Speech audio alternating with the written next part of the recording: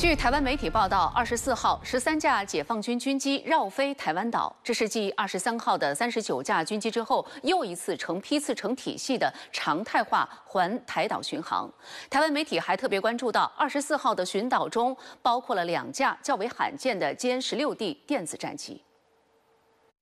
据台空军发布的解放军军机动态，二十四号有十三架解放军军机飞入台所谓西南防空识别区，包括一架运八反潜机、八架歼十六战机、两架轰六战机、两架歼十六 D 电战机。台湾媒体称，歼十六 D 电战机是首度出现。据了解，歼十六 D 是以歼十六为平台研制的新型电子战飞机，具备侦、攻、防于一体的综合作战能力。有分析指出，此次歼十六 D 的出现可能代表已经量产且达到一定数量，解放军空军已经可以实战化运用歼十六 D。它本身的这个雷达相关的参数，就很有可能很快的被大陆的歼十六 D 所接收，而且解算出来。就在歼十六 D 亮相台海前一天，解放军派出三十九架次战机进入台所谓西南防空识别区，创下今年以来最大规模纪录。另据台方统计，去年解放军军机绕台次数近千次，而今年不到一个月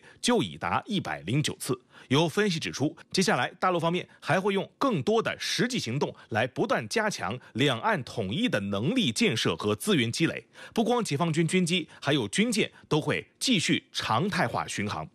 对于解放军在台海周边的军事行动，国防部新闻发言人谭克飞曾表示：“捍卫国家主权安全，遏制台独分裂行径，中国人民解放军义不容辞。”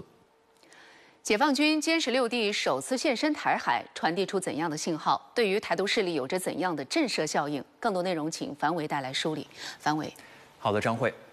台湾联合新闻网的报道就指出，文章说啊，歼十六 D 电子战机成为解放军歼十六战机系列中最新研制并装备部队的型号，可与其他战机形成较完整的航空电子战体系，破坏敌方讯息获取能力，瘫痪。电磁系统。台军退役将领张延廷也分析表示，他说：“歼十六 D 这次亮相，代表解放军不怕外界有能力搜集相关电子参数，展现了其强大的电子战能力。毕竟，在未来的作战环境中，谁掌握制电磁权，谁就握有战场主动权。现在，解放军军机绕台。”抵近警巡已经成为常态，在台独头上是悬了一把达摩克利斯之剑，同时将大陆的警告和威慑具象化、实体化。对此，环球网今天也刊发文章指出，文章说，这些飞行的轨迹线已然是缠在台独脖子上的细绳，让他们感觉到有些喘不上气。如果台独分裂势力依旧执迷不悟，挑战一个中国底线，这样的细绳就会越缠越多，越收越紧。